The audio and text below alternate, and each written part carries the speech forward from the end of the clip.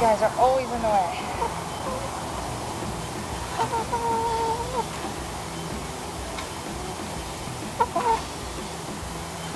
All right, it's not a party. Come on.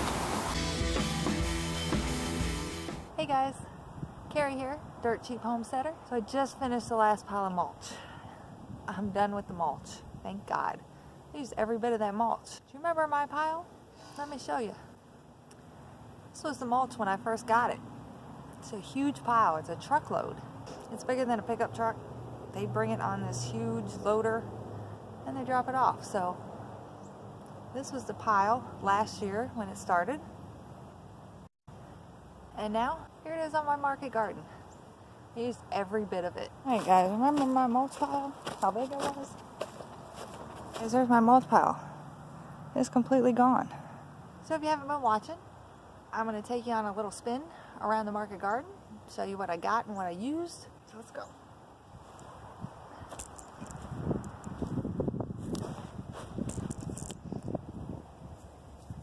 Hi Cooper. Hi baby. Watch out. Watch out.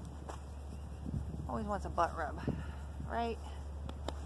Good boy.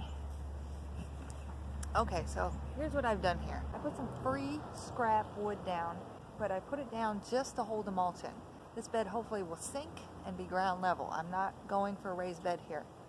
So I put some boards up. The cinder blocks are just to hold the boards in place. Underneath of all this mulch is cardboard. This is gonna kill my grass quick and it breaks down. So this is gonna block the grass and the weeds from coming up. The mulch is gonna decompose. It's gonna give me some nice soil in a few years. So here I have a weed barrier. Now, I may not have used the weed barrier, but I got a free roll by helping somebody clean out some sheds. So it's free. I got it. I want to use it. Now, I didn't use the weed barrier inside, just on the perimeter. And that's because I just don't want the grass to creep into my bed. It's going to be flat when it's all said and done, but I don't want it creeping into my bed. I'd like to do three feet on each side, but I really don't have the yard for that. So this is what I have, and it's just going to help me keep grass out of the bed.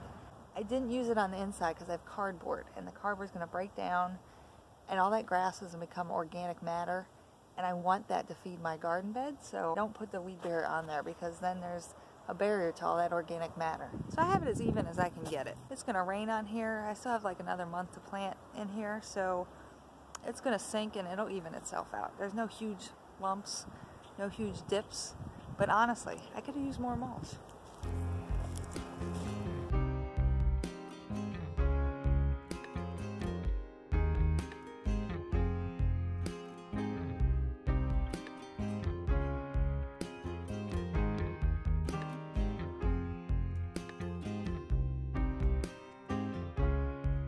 So I just wanted to mention a few things here because I happened to see a video. They were using sawdust on their garden and I guess um, he had cut up some trees, just mulched some trees and put it directly on their garden.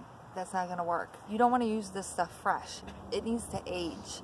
If you put that on your plants, it's going to turn them yellow and kill them. It might be misleading the way this looks, but that mulch pile that I had out front actually sat there for a year and it's still not decomposed. Not anywhere near where it needs to be. So you can't use fresh wood chips. It'll kill your plants. How I work around that is I'm going to put a layer of topsoil mixed with compost in here and I'm going to plant in that. There's no way I could plant in this and it not kill my plants. So it's going to be tarped until I'm ready to plant. That will speed up the decomposition. It will kill any weed seeds that I have in here and it will make it ready so I can plant. For anyone that is trying to mimic the Garden of Eden or wants to try my method, just know that you need aged wood chips. You can't use fresh wood chips and sawdust is even worse. It'll kill your plants. So just keep that in mind, okay? Thanks, George. Now, I'm not an expert. This is a first time thing for me. So I may not know what I'm talking about. One last thing before we go. Gotta get the eggs. see, we got two over here.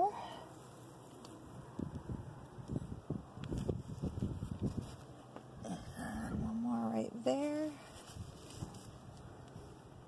Thanks, ladies.